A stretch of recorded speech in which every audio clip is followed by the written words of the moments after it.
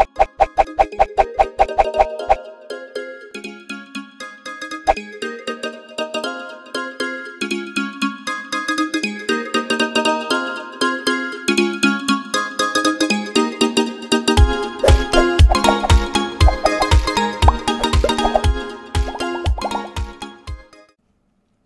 ารควบคุมกล้องและแสง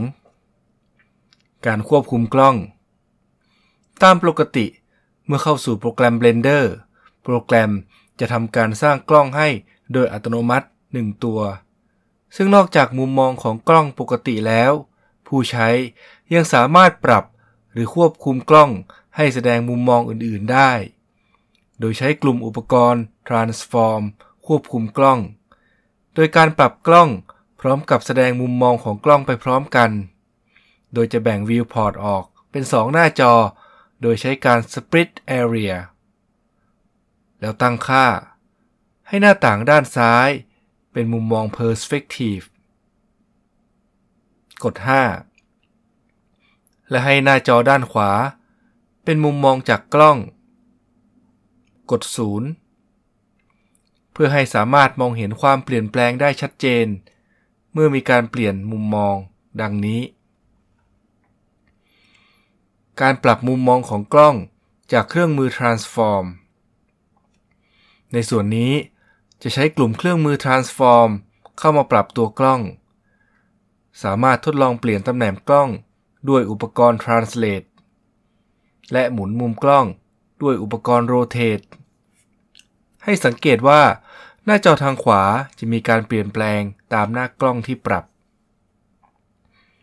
การปรับกล้องดังกล่าว เป็นการควบคุมตัวกล้อง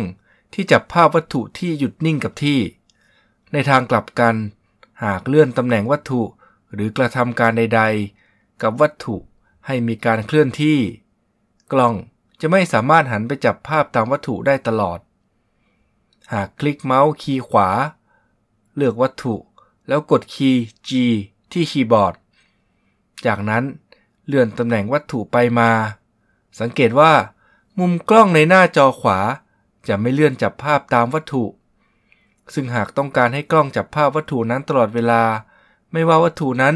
จะเคลื่อนที่ไปยังตำแหน่งใด สามารถทำได้ โดยการกำหนดให้มุมมองของกล้อง ติดตามการเคลื่อนที่ของวัตถุ มีวิธีการดังนี้ 1. คลิกเมาส์ขวาเลือกกล้อง แล้วกดคีย์ชิปค้างไว้ คลิกเมาส์ขวาเลือกที่วัตถุ 2. เลือกคำสั่ง Object Track Track to Constraint หรือกดคีย์ Ctrl บวก T แล้วคลิกเลือก Track to Constraint ก็จะเป็นการสร้างให้กล้องติดตามการเคลื่อนที่ของวัตถุไปตลอด สังเกตว่า จะมีเส้นประเชื่อมระหว่างกล้องและวัตถุ ทดลอง โดยคลิกเลือกวัตถุแล้วกดคีย์ G จากนั้นทดลองเลื่อนวัตถุไปมา สังเกตว่ามุมกล้องในหน้าจอทางขวา จะเปลี่ยนตามการเคลื่อนที่ของวัตถุ การสร้างกล้องหลายตัว ในการทำงานบางครั้งอาจจำเป็นต้องใช้มุมมองกล้องหลายมุมมอง ดังนั้น โปรแกรมจึงกำหนดให้สามารถสร้างกล้องขึ้นมาได้หลายตัว โดยคลิกเลือกคำสั่ง add camera ก็จะได้กล้องตัวใหม่เข้ามาใน viewport จากนั้นก็ให้ใช้กลุ่มอุปกรณ์ transform ย้ายตำแหน่งและหมุนมุมมองกล้องตัวใหม่ให้เป็นไปตามความต้องการสำหรับการเลือกใช้กล้องที่อยู่ในซีนการทำงานนี้ หากมีกล้องหลายตัว สามารถเลือกใช้มุมมองของกล้องมุมมองใดก็ได้ ซึ่งในตัวอย่างมีกล้องอยู่ 2 ตัว จะทดลองเลือกมุมกล้อง ระหว่างกล้องตัวที่ 1 กับกล้องตัวที่ 2 ดังนี้ คลิกเมาส์ขวาเลือกกล้องตัวที่ 2 ซึ่งเป็นกล้องที่เพิ่งสร้างขึ้นมา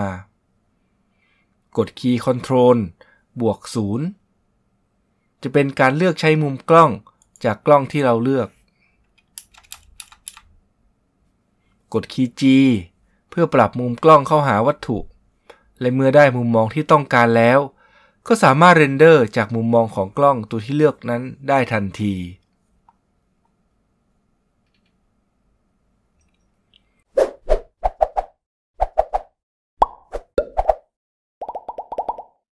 แสง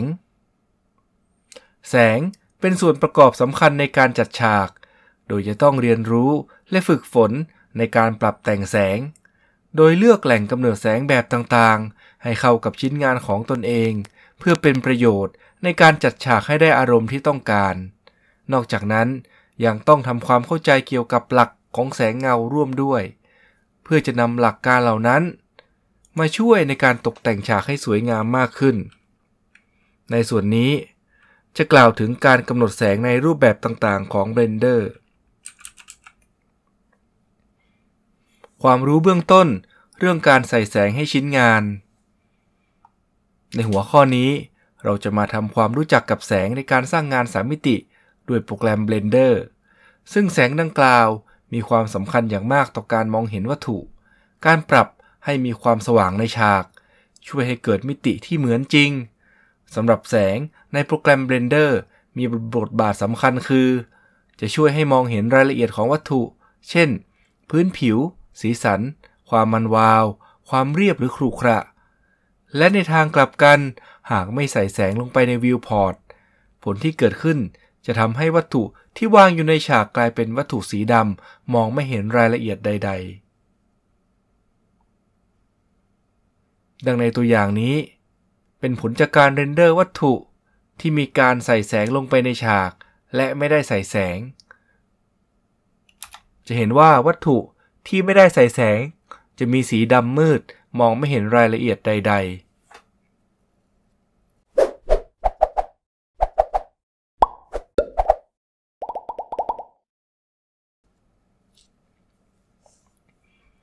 การสร้างแสงในโปรแกรม Blender เมื่อเปิดโปรแกรม Blender จะพบแสงหนึ่งดวงที่ปรากฏอยู่บนวิวพอร์ต มีลักษณะเป็นวงกลม และมีจุดสีดำตรงกลาง วางอยู่ใกล้ๆกับวัตถุเสมอ เรียกวัตถุแสงในโปรแกรม Blender นี้ว่าแลมหากต้องการสร้างแลมดวงใหม่ขึ้นมา ให้คลิกที่เมนู Add Lamp จากนั้นจะปรากฏชนิดของแสงทั้งหมด 5 ชนิด ได้แก่ Lamp Sun Spot Hemi และ Area ซึ่งแสงไฟแต่ละชนิดจะให้แสงสว่างที่ต่างกัน เช่น แสงส่องเฉพาะที่ หรือแสงที่ให้ความสว่างโดยรวม โดยรายละเอียดของ Lamp แต่ละชนิดจะกล่าวถึงในหัวข้อต่อไป ที่เราจะทดลองสร้างแสงขึ้นมาเพิ่มในวิวพอร์ต โดยเลือกสร้างแรมแบบสปอตก่อน ก่อนสร้างให้กำหนด crosshair cursor ในตำแหน่งที่ต้องการวางแสงก่อน คลิกซ้ายกำหนด crosshair พื่อจะวางตำแหน่งแสง เลือกเมนู add lamp spot แสงแบบ spot จะปรากฏ หลังจากนั้นสามารถปรับแต่งแสงได้ตามต้องการ ทันทีที่คลิกเลือก lamp ก็จะปรากฏขึ้นมาบน viewport ทดลอง render เพื่อดูผลลัพธ์ของการใส่แสง โดยคลิกที่เมนู Render Render Current Frame หรือว่าจะกดคีย์ F12 ก็ได้ ผลจากแสงและการตกกระทบของแสง จากการเรนเดอร์แลมที่สร้าง จะช่วยให้วัตถุมีความสว่างที่เหมือนกับแสงธรรมชาติ กล่าวคือ ส่วนที่ใกล้แสงมากที่สุด จะมีความสว่างและจะสะท้อนแสงมากที่สุด เรียกส่วนนี้ว่า specular และส่วนที่ถูกแสงตกกระทบ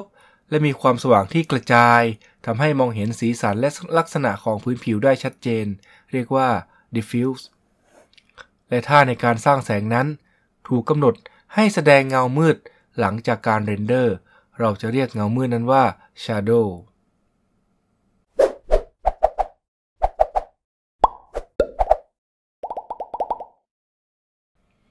แสงในโปรแกรม Blender นั้น นอกจากจะทำให้เห็นรายละเอียดของวัตถุโดยรวมแล้ว ยังช่วยให้มองวัตถุได้อย่างเข้าใจมากขึ้นว่า วัตถุนั้นถูกสร้างให้มีพื้นผิวเป็นอย่างไร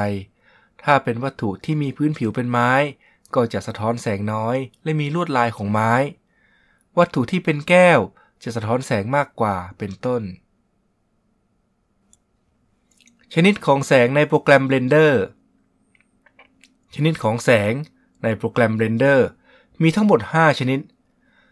โดยจะกล่าวถึงลักษณะเด่นของแสง ความเหมาะสมในการเลือกใช้แสงกับงานต่างๆ รวมถึงวิธีการปรับคุณสมบัติย่อยของแสง เพื่อสร้างความหลากหลายในการทำงานมากขึ้น ก่อนจะกล่าวถึงนั้น ให้ลบแรมที่อยู่ในวิวพอร์ตเดิมเสียก่อน เพื่อให้แสงแต่ละแบบที่จะสร้างได้แสดงคุณลักษณะจริง ๆ โดยที่ไม่มีผลของแสงอื่นใดมาแสดงซ้อน ด้วยการคลิกเมาส์ขวาที่แรมเพื่อเลือกแสง จากนั้นกดคีย์ delete แสงแบบแลมแลมชนิดที่ 1 แสงแบกแลมเป็นแหล่งกำเนิดแสงแบบจุด ที่มีการกระจายแสงจากจุดกำเนิดแสงไปรอบทิศทาง ด้วยรัศมีความเข้มแสงที่เท่ากัน แสงแบบซัน แสงแบบซันมีลักษณะแสงแบบ มีทิศทางการส่องแสงแบบขนานคล้ายกับดวงอาทิตย์ กล่าวคือมีลักษณะของการส่องแสงเป็นลำแสงที่ส่องทอดลงมายังวัตถุด้วยความเข้มแสงที่เท่ากัน และเงาที่ได้จะมีลักษณะขนานกัน แสงแบบสปอต มีลักษณะแสง จะมีจุดกำเนิดแสงที่แคบ และเมื่อส่องไกลออกไป จะมีลำแสงที่กว้างขึ้นเรื่อยๆ คล้ายรูปกรวย ตัวอย่างวัตถุแสงในลักษณะของสปอตได้แก่ สปอตไลท์ ไฟฉาย หรือไฟหน้ารถยนต์เป็นต้น แสงแบบแอเรีย แสงแบบแอเรียมีลักษณะแบบมีจุดกำเนิดเป็นรูปสี่เหลี่ยม ทำให้ลักษณะของการส่องแสงจะเป็นลำแสงสี่เหลี่ยมด้วย เหมาะสำหรับการสร้างแสงที่ส่องลงมา มีขอบเขตหรือพื้นที่ตายตัว เช่น แสงไฟที่ส่องบนโต๊ะสนุกเกอร์ แสงที่ส่องลอดหน้าต่างเข้ามากระทบพื้น ลักษณะของแสงจะเป็นรูปสี่เหลี่ยม อยู่บนพื้นที่แสงตกกระทบ แสงแบบเฮมิ มีลักษณะจะมีทิศทางการส่องแสงแบบแสงขนาน คล้ายกับแสงแบบซัน แต่สิ่งที่แสงแบบเฮมิ ต่างจากแสงแบบซันคือ แสงแบบเฮมิ ไม่สามารถกำหนดให้มีเงาได้นั่นเอง จึงนิยมนำแสงแบบเฮมินี้ ไปใช้ในการสร้างแสงของบรรยากาศโดยรวม เพื่อสร้างความสว่างในฉาก ให้เหมือนกับแสงรอบๆ วัตถุในความเป็นจริง การกำหนดคุณสมบัติชนิดของแสง ในการกำหนดคุณสมบัติของแสง จะมีค่าต่างๆ ให้ปรับอยู่ในส่วนของ properties เมื่อเราคลิกเลือกที่แสง preview คือช่องที่แสดงผลเบื้องต้นของลักษณะของแหล่งกำเนิดแสงแต่ละชนิด ประเภทของแหล่งกำเนิดแสงชนิดต่างๆ สามารถเปลี่ยนไปมาได้ สีและ energy คือความเข้มของแสง หรือความสว่าง fall off ขอบเขตความกว้างยาวของแสง negative กำหนดให้แสงแสดงผลเป็นตรงข้าม this layer only กำหนดให้แสงสามารถมีอิทธิพลต่อวัตถุ layer ที่กำลังทำงานเท่านั้น specular กำหนดให้เกิดจุดแสงสะท้อนในพื้นผิววัตถุที่ส่อง diffuse กำหนดให้วัตถุที่แสงส่องถึงแสดงลวดลายพื้นผิว shadow สามารถกำหนดได้ว่าเมื่อแสงส่องวัตถุใด ๆ จะทำให้เกิดเงาหรือไม่ ช่องเปลี่ยนสีของเงา soft side ขนาดของความกว้างของการจางลงของขอบเขตของเงา sample ความละเอียดของแสง